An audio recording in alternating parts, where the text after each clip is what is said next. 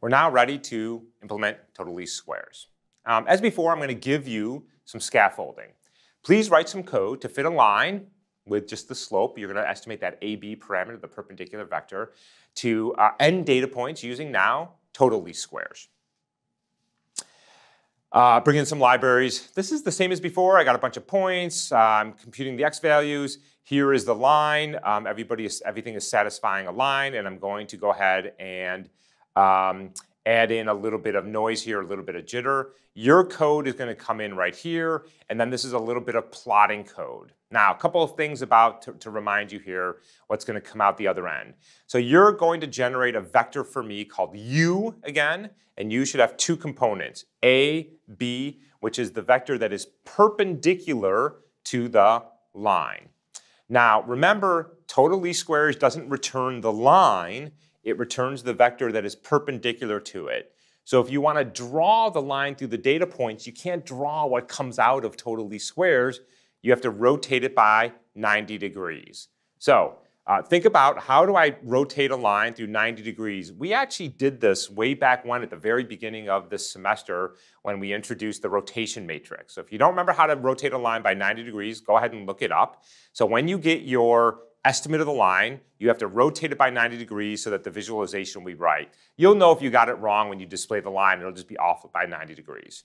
Let me also uh, remind you that you're going to compute uh, the eigenvectors of the matrix X that's associated with uh, the total least squares error function, and you're going to want to grab the minimal eigenvalue eigenvector.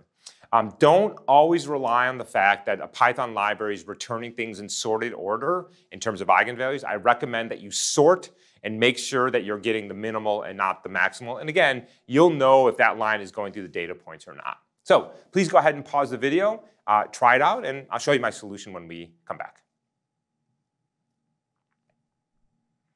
All right, again, not a lot of code, but a lot of details here that have to get right. So I'm going to first of all build my matrix. I'm going to stack in the x's and the y's associated with my data into an n by 2 matrix. That axis equals 1, again, is telling me to stack things into the columns. I'm going to compute the eigenvectors and eigenvalues, that's what I'm putting into L and V, of x transpose x.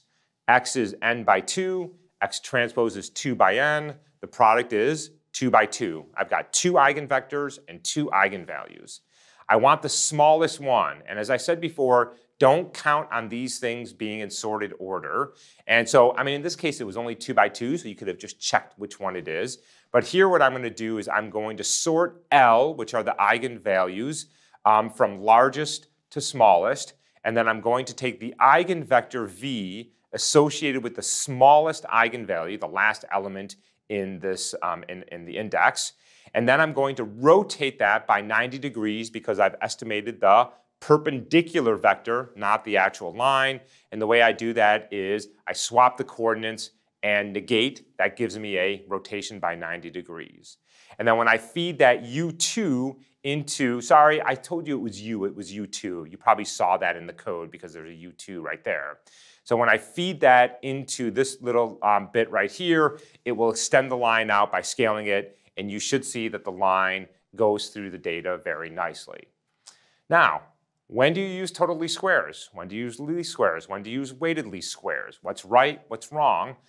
There's no right answer here. I can't answer that question. It depends. Um, I use uh, least squares when I know something about one of my coordinates and that there's no noise or slop in there, and I know that all the slop is in the other parameter. When I have less certainty about each of the parameters, the x and the y, I use total least squares. Sometimes it just comes out that way. When we were estimating the homography, we set up uh, a, a constraint that said the cross product of two vectors is equal to zero. That was naturally a total least square solution because I was setting something equal to zero instead of to something that was non-zero. So these, the tools that we are introducing, we're not ready quite ready to tell you exactly when and where and how. This is more about building that machinery. And then as we go through the course, we'll start to see how these tools are actually applied and where to apply them and when to apply them and why to apply them.